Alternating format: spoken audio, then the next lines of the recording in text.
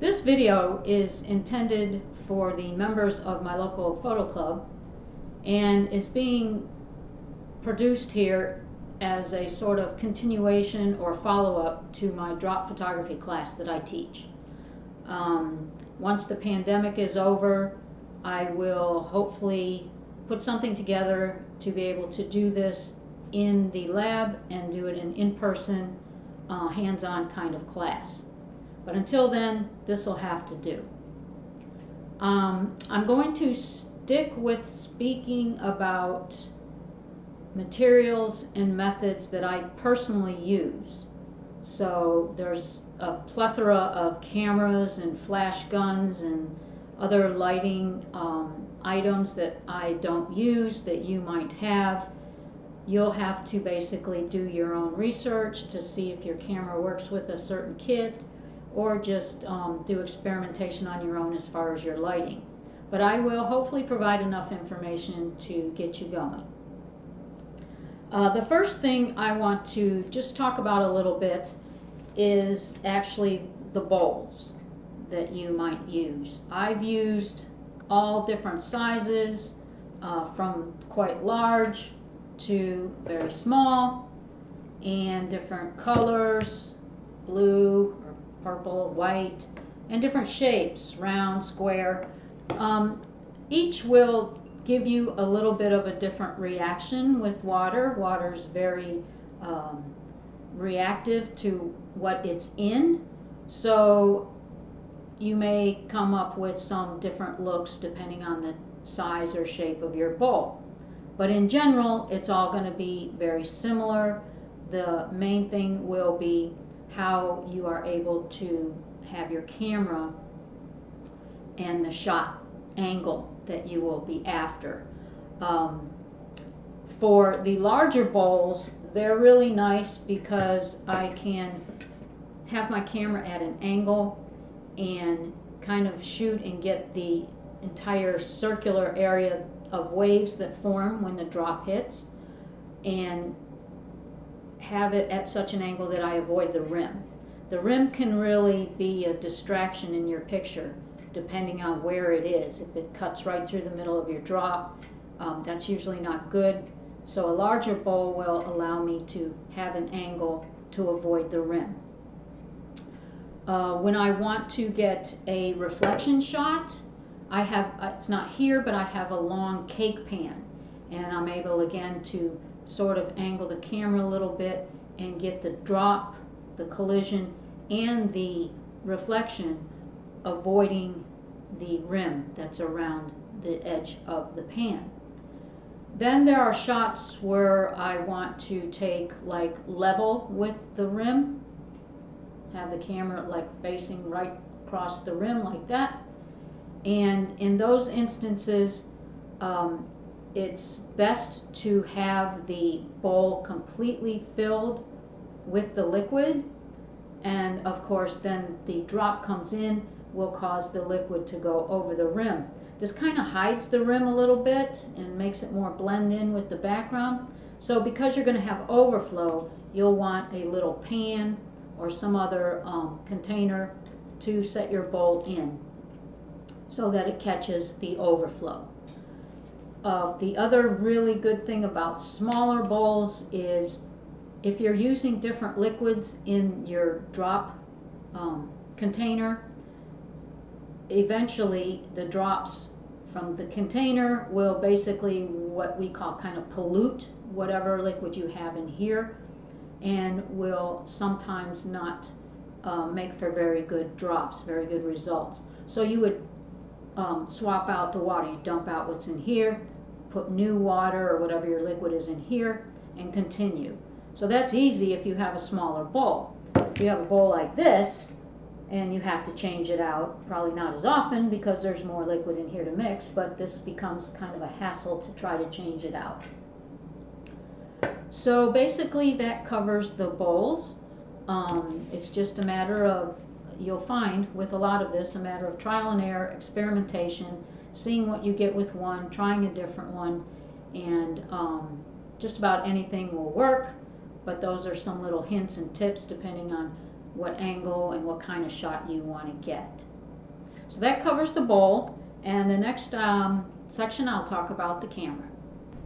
All right, as far as the camera goes, I have used both an SLR and a bridge camera to do my drop photography.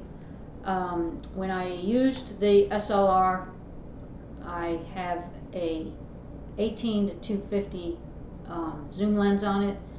Most droppers use a macro lens. I don't have one, so I've used my 18 to 250. Uh, focused in as much as I can with some zoom to keep the camera back a little bit. And um, as an add-on to that, which has helped a great deal, I use a close-up lens, just the screw-on kind, that screws on the end of the lens.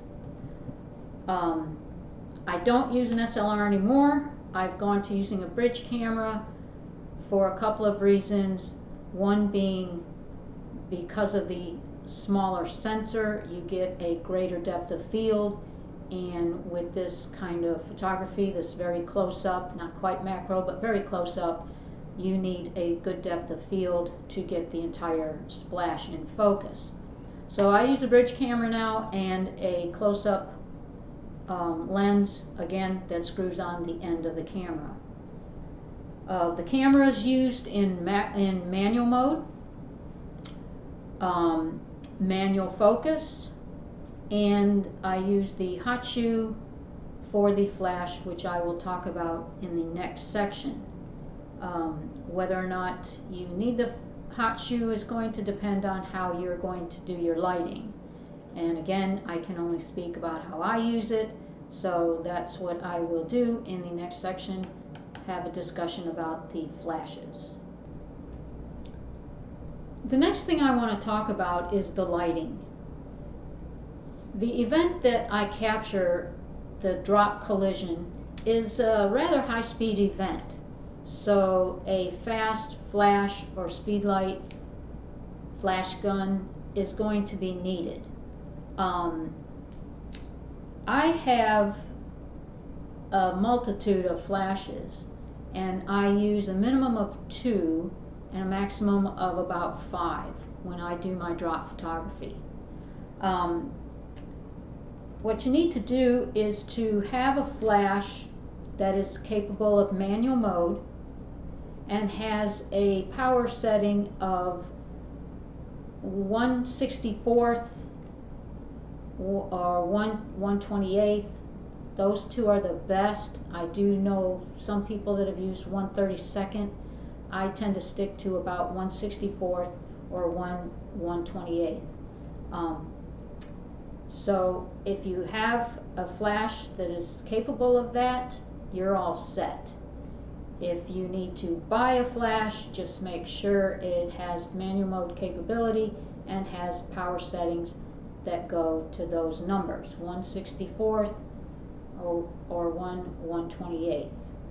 Um, one thing to be aware of though is that if you have a flash or you're buying flashes, you don't want to mix brands and even models of the same brand that is because they don't even even though they might have the same power number 164th that doesn't necessarily mean that the duration is the same. And again um, I don't want to spend a whole lot of time on this. I have a high-speed flash photography class that I teach where I go into much more detail about this so again, if we get to where we can have classes in the lab, I recommend you take that if you're interested in this kind of thing. But basically what I'm saying is um, this flash, which is a Canon, I can set this to 164th, and this flash, which is a Sunpak, I could set to 164th, and that doesn't mean they're going to be the same flash duration or the same speed. Um, Matter of fact, this one, the Sunpak is much slower. So you're going to get um, incorrect off sync lighting. One will have light that flashes, the duration is longer than the other. So you're going to get ghosting or blurring, double exposures, that kind of thing. So you want to, if you're going to use multiple flashes, stick with the same flash, multiple um, of the same flash. That said, it could be that the two are not so different that it would make a difference. But I'd hate for you to go out and spend the money and buy some flashes, not realizing that there is that possibility, and you end up getting incompatible flashes for this kind of work. So that covers the um, flash duration, the settings. Again, you want it to be able to uh, be put manual mode with some power settings of 164th and 1 128th, somewhere in that range. Again, 132nd might work, but the faster the better, or the lower the power the better. Again, I go into more detail in my high-speed class. So how the flashes are fired um, depends on how I set up my kit. My particular water drop kit has the capability of firing the camera independently of firing the flashes. It can do both um, separately. But if I chose that option to have the kit control the flashes, then it forces me to do my photography, my um, water drop photography in a darkened room. And I would prefer to be in a normally lit room and in order to do that, I just have the kit fire the camera and then the camera fire the flashes. And that way, again, I'm able to do my water drop photography in a normally lit room, which is so much easier. So how is that done? Well, like I said, I have the kit connected to the camera and it will fire the camera. So to get the camera then to fire the flashes, which are set in multiple areas around the bowl or whatever I'm um, dropping into, I need to have some way to do that communication. And what I use is a um, remote flash trigger. These come in a variety of brands, sizes, shapes. Um, I went with the cheapest and they work great. So don't think you have to spend a lot of money. I think I spent about 20 bucks and got the transmitter and about two or three receivers. Now this was several years ago, so I can't say how much they cost now, but just know that the cheaper ones do work just fine. So the way this works is you put the transmitter onto the hot shoe of the camera and it has uh, little switches. This particular one has little switches. This is a radio frequency RF transmitter and you just make sure these switches are identical on the transmitter and on the receiver. And if one combination, in this case there's four toggles, doesn't work, you just change one of the toggles, change the exact same toggle on the receiver and see if that works. Um, so anyway, all you do is you put the transmitter on the hot shoe, like such. And the receiver, which requires, on this one, two double uh, AAA batteries. They're two AAA batteries. This has an internal battery that lasts a long, long time. Um, don't need to worry about it. Uh, I've only had to change it once in seven years. So so the receiver then goes on the flash. The transmitter does not have an on-off button. The receiver does. So I turn on the receiver, get my cameras on, and then it's just a matter of firing. Again, the kit will fire the camera, and the camera in turn will fire the flash. So with this kind of setup, multiple uh, receivers, you can have multiple flashes with each with their own receiver and the camera will fire them all. The um, transmitter on the camera's hot shoe will fire them all. So it works great. It's really easy um, and relatively cheap to have multiple flashes around your scene and just fire them with the um, transmitter on the hot shoe.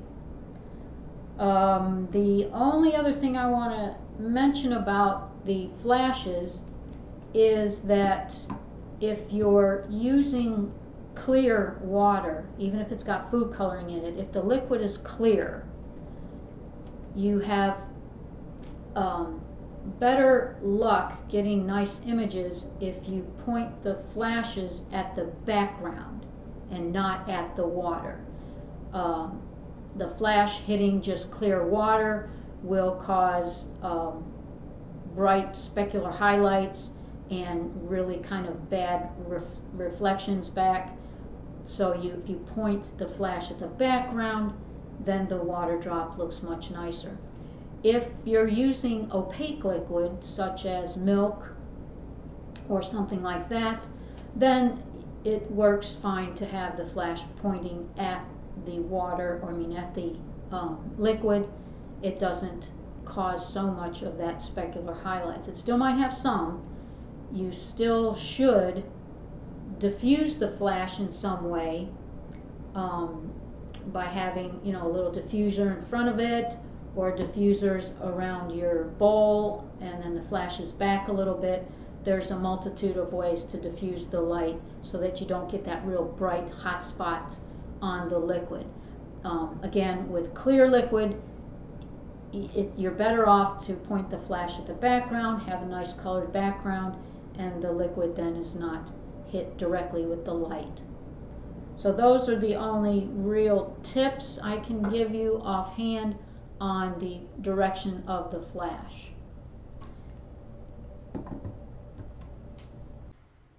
So I think it's pretty obvious that I don't do a whole lot of video. Um, this section is going to be some additional information on things I talked about in the video, as well as then moving on to new topics because uh, I want to go beyond the manual method of water drop photography and talk about the more advanced uh, use of kits. Uh, first though, I do want to clarify a few things and add a few things to the topics that I talked about already. And the first being the catch bowl. I did mention in the video that it sometimes, most of the time, looks better if you have the liquid in the bowl all the way up to the rim so that it sort of hides the rim a little bit in the back.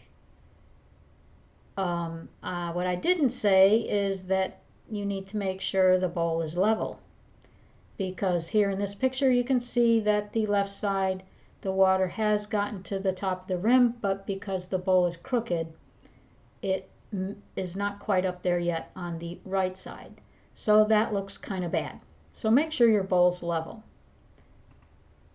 like this and it looks much nicer. And depending on the background it can blend right in. Makes for a very nice clean looking picture.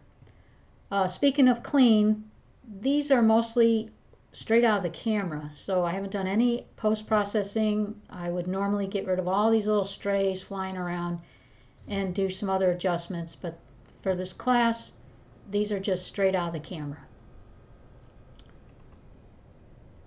Then I also talked about a long pan to catch um, reflections. Of course, if the collision happens very close to the surface, you're not going to see much of a reflection, but if it's a higher collision, you'll be able to see. Um, almost every image you take, you're going to need to do some post-processing. Uh, even if you've cleaned all the bubbles from the previous drop, this drop, this next drop might cause bubbles. And you do want to make sure you try to clean them off and also let the contents of the bowl settle. Because as you know, when water gets um, disrupted, it'll wave out and in and out and in and out, you know, until it, so you need to wait till the water settles and then also clear out the bubbles and other things that may be in the water before you do your next drop. The camera settings. I talked a little bit about the camera. You use it in manual mode when you do this kind of work. Currently, I use a shutter speed of 1 160th. My aperture is um, at f9, but if you recall, I stated that I use a bridge camera. I think my bridge camera, the one I use now, only goes to f16. If you're using a SLR, you will probably need to stop down even more to get a good depth of field. Um, and then an ISO of 100. If you stop down and you need more light, you could open it back up, but again, you got to watch that depth of field. So you could um, up your ISO a little bit or work with your flashes a little bit as far as the distance or even the power. I also mentioned that you need to put your camera in manual focus, but I didn't quite talk about what to focus on. So you put your camera in manual focus. I bought this huge bolt at Home Depot, put it in the bowl, and I focus right where the bolt and the water surface meet. Um, if you don't have something like that, anything that you could put across the bowl, in this case, this is a one of those bamboo skewers, and then you can focus on that. Just make sure that that's where your drop's hitting. So put the bolt or the skewer on or in the bowl um, get your drop going, make sure your drop hits.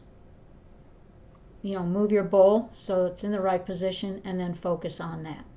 And then, of course, remove the bolt or the skewer.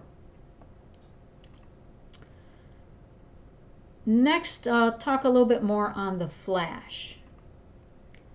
I spoke about um, needing to get a flash that it has the capability of manual mode and then setting it to the lowest power possible in this case 1 over 128 1 128th um, that's best. That will produce your shortest duration or fastest flash. And again I talk more detail when I teach my high-speed flash photography class at the club. If it doesn't, if your flash doesn't go to 128, 1 over 128, 164th does work as well. Um, 132nd, I think I mentioned, you're getting close to that point where it might be too long of a duration and you might get some blurring. So in that case, go to 164th or 1 over 128. And the positioning of the flashes, I talked about a little bit.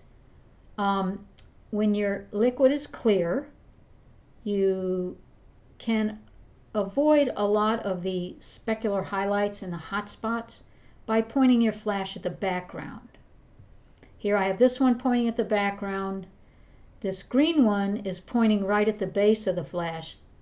That's one of the things you'll find if your if your flashes are all pointing at the background the very front of the of the drop is kind of in shadow.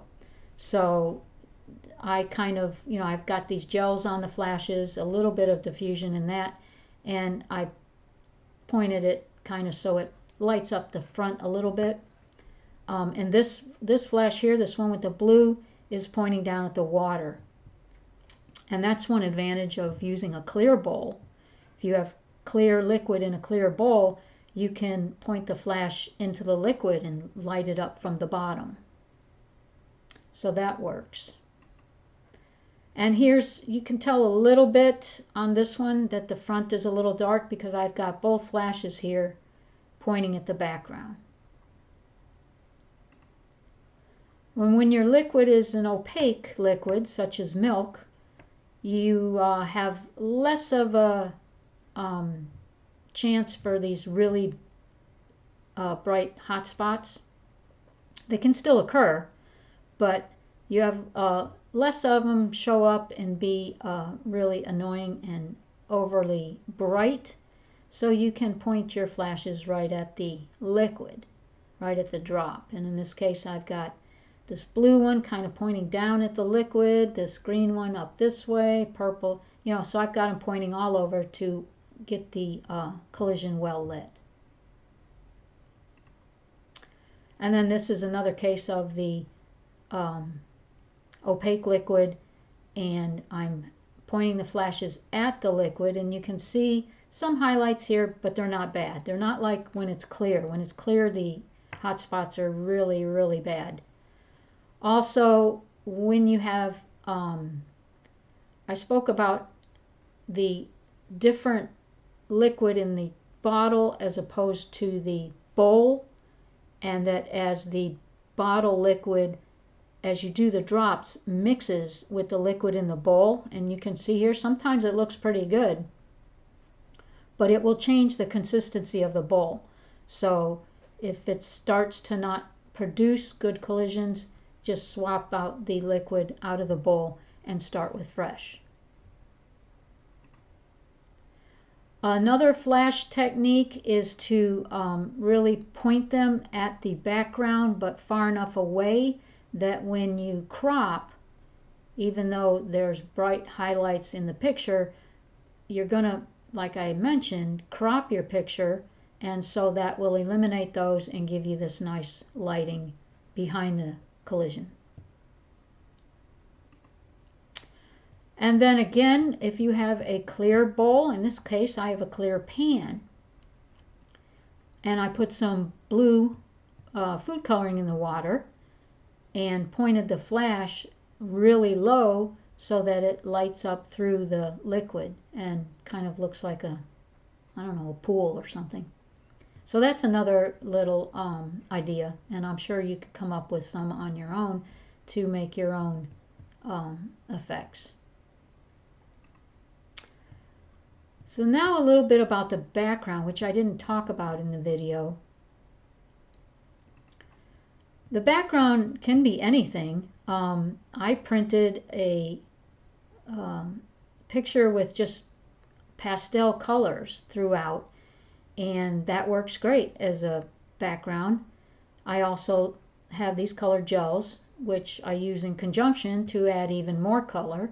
So that's one of the things I've used and that produces a really nice clean background with just a different colors throughout.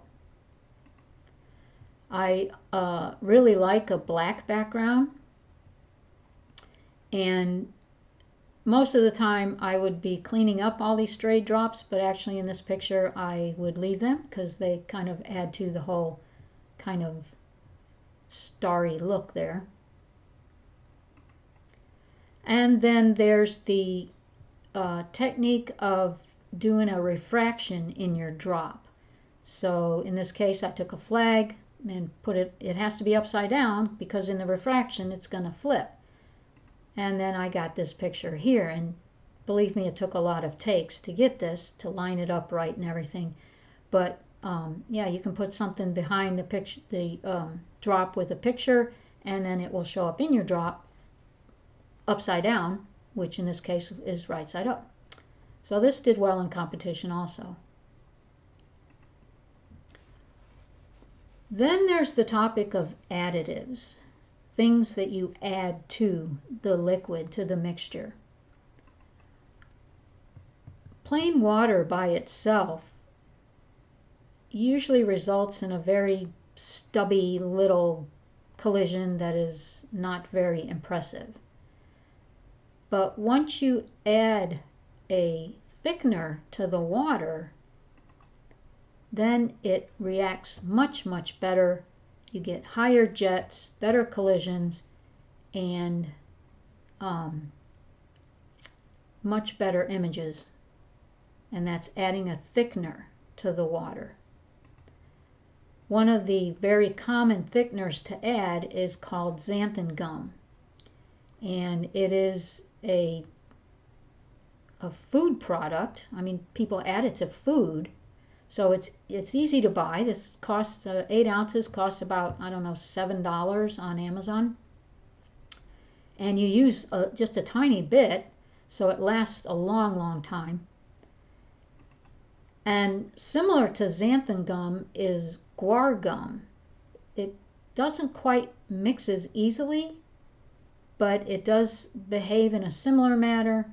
And um, I have been using it just to see if it makes a whole lot of difference.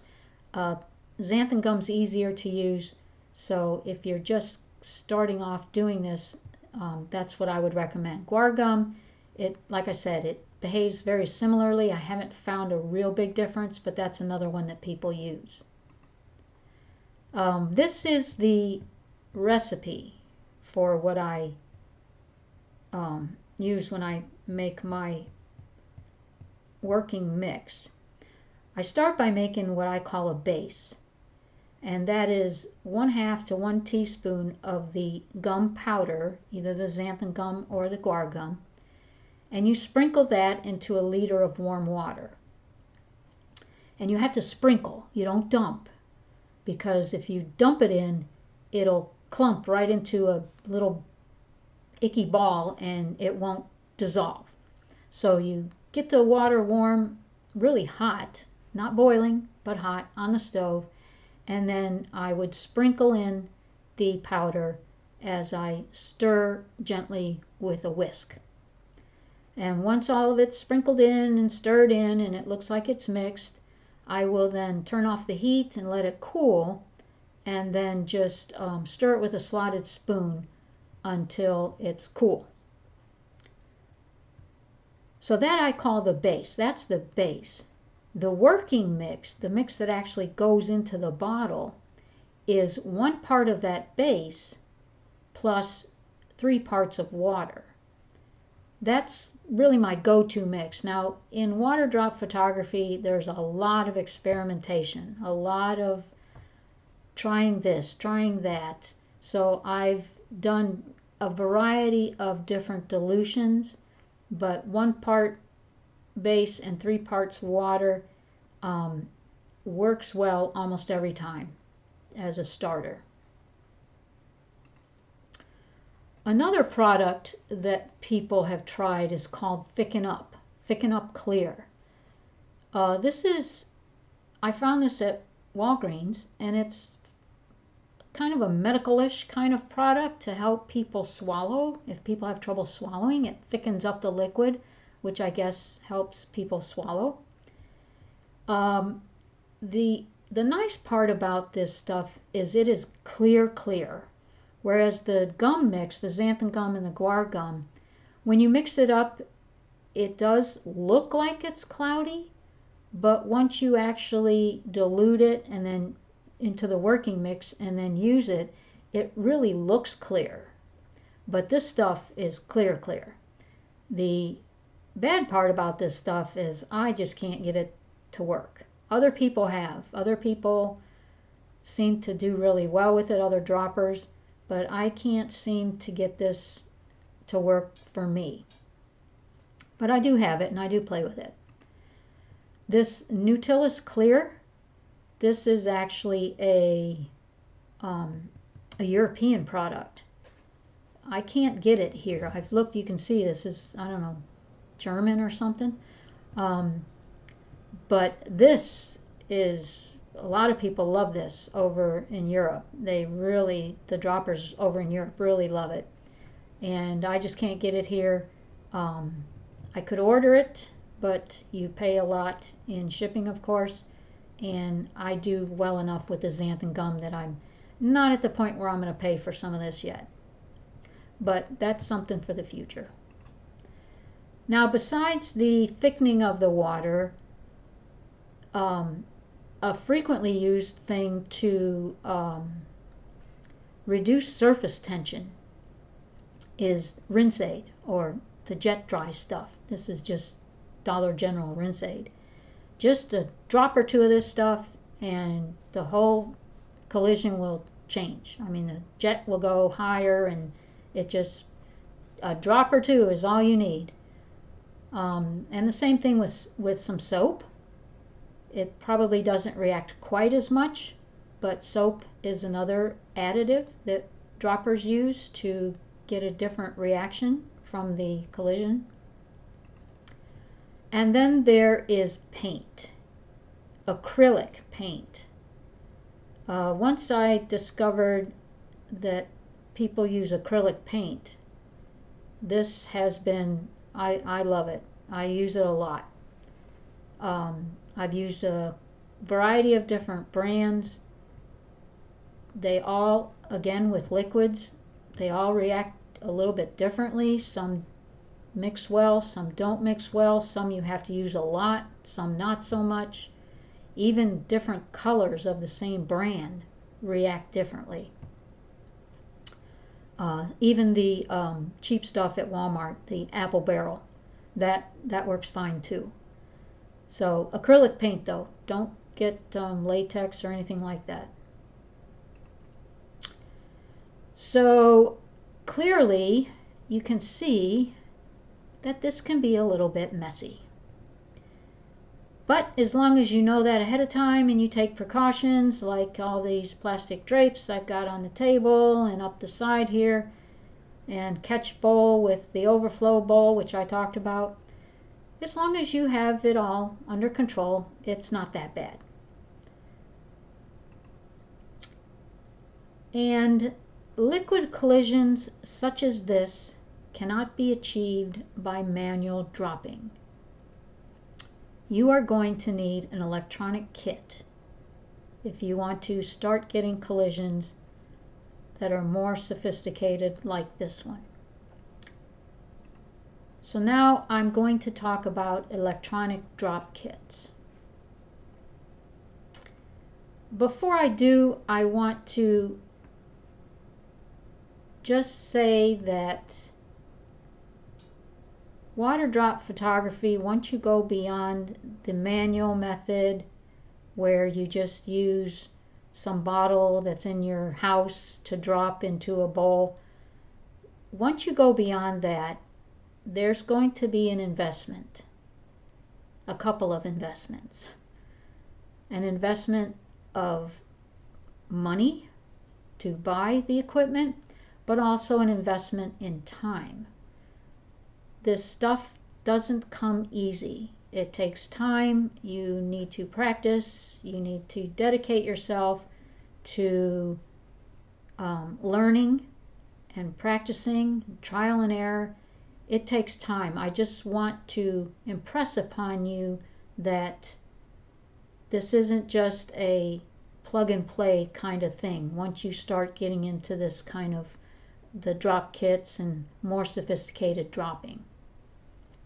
That said, my hope is that this presentation will kind of get you into a position where you don't have to bother with the manual part or learning about the flash and all that that i am teaching you that here so that you can kind of avoid that part of the time commitment and maybe get right into um, doing some more sophisticated stuff. So just like with the manual method, using an electronic kit, it starts with a container to hold the drop liquid. And all of the kits come with the container. That's part of the kit. The next part is the valve. And the valve is what opens and lets the water or whatever liquid through and closes so that you get drops. And then, of course, the controller to control that valve as far as how much how long it stays open which then translate to how big the drops are. I'm going to just show the most popular kits at this point in time and to give you an idea of what's available out there. This is the MIOPS and I'll give you the um, the links, the URLs to all these products at the end of this. The MIOPS has the container, the, the tube or bottle, and the valve right here. The electronics for the valve are in this little casing, and then you get this arm that you attach to, I guess, a tripod or something to hold it all up. And that one runs about $149. Then there's the Pluto. And the Pluto is very similar. It's got this tube for the container. The valve is here. The electronics, oddly enough, which is kind of strange for something that is used with liquids, the electronics are kind of exposed a little bit. And then you get this arm, again, for the tripod or whatever to hold it, and then some cables and whatnot. And this one is about 179 And I say about because by the time this is out there and people see it, the prices may have changed. Then there is the, you don't see it anywhere here, but it's the MJKZZ. Uh, this guy is based in China. However, there is a US distributor. And the price runs approximately $229. You get the container with the valve and the electronics on the valve. You get a controller and you get a, a little remote. And I, you get this arm as well, but of course not this nice tripod. So that's the MJKZZ. Then there's the splash art. This um, guy is based in the UK. And the splash art runs about 250 and of course, that's the bottle, the valve, the electronics for the valve, the control box, and the cables. You also get this, like it's, it's like a chemistry stand, a retort stand, and this arm here, and the um, little thing to hold the arm to the stand. And that's splash art.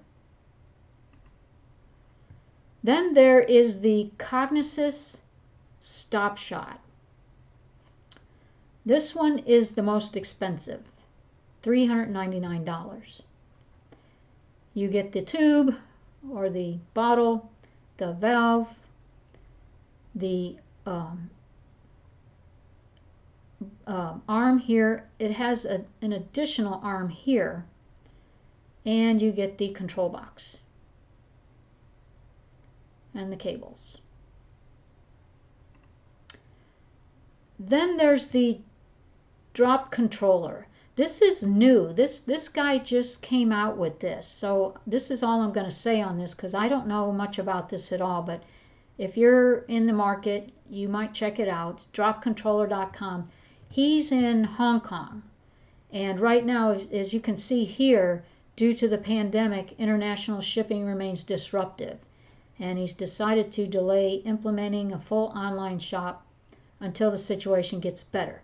So I have no idea if and when this guy will get going, but um, it's another option if you are in the market at some point.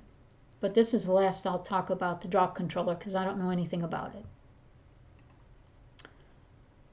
So, the container to hold the drop liquid, we got that. The valve, and I'm going to go back through each of the uh, valves on each of the um, products just to point out a few differences.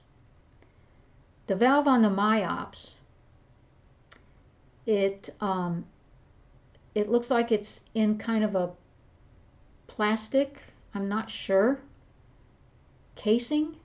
The uh, nozzle you get is plastic. And the um, electronics for the valve are in this casing here. The Pluto looks like it's got the same. I, I don't know if this is plastic or metal, but it looks very similar. However, the nozzle that you get with the Pluto is brass. And again, the electronics are oddly exposed.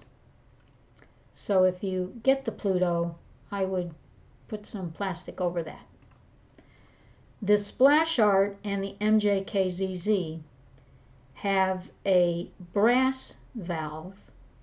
The electronics are encased in plastic, but the valve itself is brass. And it does come with brass nozzles. And that's for both the Splash Art and the MJKZZ. They both use this same Shako valve. The Cognisys, again, goes back to this kind of valve here, which looks very similar to the Pluto and the MIOPS. It has a brass nozzle and the electronics are encased. So those are the valves that you get with the different kits. And then there's the controller, the brains of the whole thing. The MIOPS and the Pluto are controlled via a phone app or a tablet app, an app. Um, so they depend on that connection. I don't know if it's Bluetooth or Wi Fi or what, but they're controlled by an app on your device. The MJKZZ comes with a um, control box and a, uh, a remote that you set the parameters, all the settings. And that's actually very handy because you can sit back, you know, you don't have to be right there, sit back and change via a remote. So that's very handy. The splash art, the control box, oddly enough, has no markings on it. There's no indication of where you're turning these knobs. You turn the knob for the size of the drops and the delay between the drops and then you push this button. So to activate this one you have to have the control box right there and actually physically push a button. Then the Cognisys is kind of similar. Um, you control the settings by setting um, these buttons here and watching the screen and setting the settings that way. And then once you got the settings set, uh, one of these two buttons, I think you can push either, would actually actuate the valve. So you again have to be have the control box right there and push a button to get your drop going. So these are the different ways that each of the products are controlled.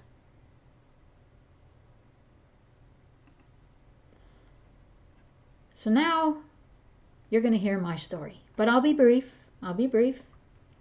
Just to kind of tell you my adventure in water drop photography. I started off manual mode. I used a glue bottle and just dropped into a bowl, put some stuff up as a background, used a bridge camera. Only I didn't have a flash other than on board. I had to use it, had to work with the shadows it created and everything. But I did pretty well. I, I, it was fun. I, it got me going. I'm telling you, I got, I got addicted. I enjoyed it. I had a good time. Got some nice drops, and the manual method did work very nice for these simple basic water drops. But then I wanted to do collisions.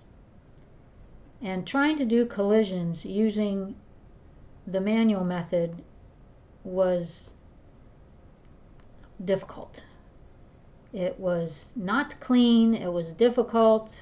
The only way I could do it was to open up that little nozzle on the glue bottle and let drops just come out bang, bang, bang, bang, bang and just click, click, click, and hope that it was colliding and the water was bouncing all over because the drop would hit and go this way and the next, and then there's bubbles and the only other way to do it, which some people have had success with, I never did, was to get the drops going real fast out of the glue bottle or whatever, and you hold a cup under there to capture the drops till the water in the bowl settled, and then you had your camera remote ready, and then you would move the cup real quick and hope that a couple drops went down and hit the hit the button and try to time it and move the cup back under.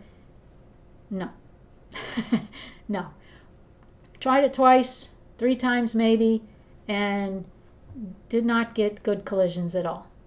So I knew at that point if I was going to continue, I would probably need to invest in a drop kit. So that's when I started researching the water drop kits um, and trying to decide which one to get. Now, I fortunately found somebody that actually had one of these Cognisys, the most expensive one, and they allowed me to try it out. So once I tried it out, I really knew that's what I wanted to do. I wanted to buy a kit, but I didn't want to spend $400 for a kit. So this one was out. So I did the research, went back and looked at all of them. Um, here is all the uh, websites, so you can, you know, copy these down if you want to look at these uh, products on the web. But so these were the five that I researched and came up with. And right away I eliminated two because I did not have a phone. I still don't have a smartphone. I don't want a smartphone. I do have a tablet, but I didn't want to control it with an app. Even though those were the cheaper versions or the cheaper kits, I didn't want to control it with an app. And then, of course, I already eliminated the expensive one because I didn't want to spend $400. So that left the MJKZZ and the splash art made by phototrigger.co.uk. So I looked into them, I went to their websites, I looked at their stuff. Uh, the splash art guy had a video showing how to use it, how easy it was to use. It looked so simple and easy. This one looked a little more complicated. So I went with the splash art. And I got the splash art. I got it all set up. I had, in the meantime, gotten some flashes. Um, I also bought a small TV so I could see the drop and decide what changes I want to make instead of having to look at the back of the camera all the time.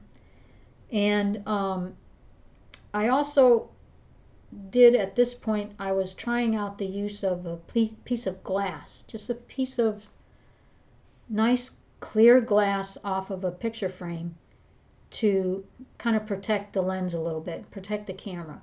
And it worked. You know, I, I got it so that that glass was right up against the lens and it didn't really interfere. It didn't cause reflections or anything. So that did work.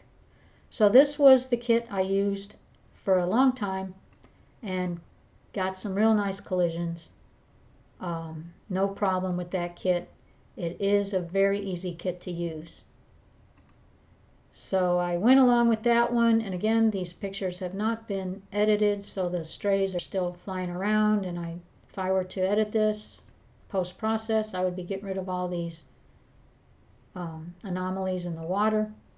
But once you have an electronic kit, you can get some really nice collisions. Then I discovered something called shoot from below. And what that is, is drops coming down from the valve above, and then you have a second valve shooting a jet up, and then the two meet, collide, and you can get some really nice pictures. Amazing collisions with this shoot from below process. And again, this needs some editing, but I'm just showing you so I didn't bother editing. Anyway, beautiful collisions. Uh, I was just, I'm amazed every time I do it. And this is mostly all I do now. I do drop into a bowl every once in a while, but I am a shoot from below nut. However, when I first discovered shoot from below, I also discovered that my splash art would not do it because the splash art can only control one valve. And for shoot from below, as you just saw, you need a valve on the top and a valve underneath below. And the splash art can't do that. So I had to figure out how I was going to do this without buying an entire new kit and I was fortunate enough to find out that MJKZZ, which uses the same valve, so I could use my current valve and just buy a second valve and also buy the controller. And their controller controls three valves. They also have a six valve controller. But I only needed two. It's nice to have three, but so I bought the MJK ZZ controller, I bought the shoot from below kit, and I never looked back. It's been great. So this is what it looked like when I first got it and put it together. I'm using the Splash Art stand, the Splash Art bottle, the Splash Art valve up top, and then I have the second valve that I bought from MJKZZ down here connected with a um, tube to the shoot from below nozzle and the controller, the control box right here, and then my little remote. Now, the shoot from below requires pressure to shoot it up. They do sell a little pump. However, I wanted to go with something a little less um, expensive. And I just use a garden sprayer. So I replaced the garden sprayer nozzle with a brass nozzle that I got at Home Depot and then connected the tube to there. And you just pump it up a little bit and you get pressure, shoots the drop up, drop coming down, collides, and you get collisions. Obviously a little bit more messy. But again, if you're prepared for it, it's easy to control. I do this on my kitchen table, so it's not as bad as it might look here. And this is my setup. Um, it's changed a little bit. I'm constantly modifying it. But at one point, this is how it looked. You can see I have the drape, just some plastic drape for protection. The little nozzles down here the valves under the table. I got the pump right here. I've got one, two, three, and a fourth flash up here. I'm shooting the flashes through foam dinner plates. They work great for diffusers. They really do. They work great. Dollar store, you get like 12 for a dollar. Um, and of course the camera and then my little TV to show me the results of my drop so that I can make adjustments if I need to. And then here's a picture from the side. Again, my little cheapo foam plates, my flashes, and that's my setup on my kitchen table. So again, for basic drop from above into a bowl, only one valve is needed, and you get some really nice pictures, nice collisions. However, sh shoot from below, you need two valves, one for up, one for below, and you get some amazing pictures with that. I'm, I'm just, I have a blast. So in my opinion, the best kit available right now is the MJKZZ. And this is what I would recommend to anyone looking to invest in a water drop kit. I hope you enjoyed it. I hope you learned something. At the end of the slideshow, there will be a uh, email address where you can contact me if you have any questions or comments, uh, want to see more, whatever you want, you can uh, feel free to email me. So thank you for watching.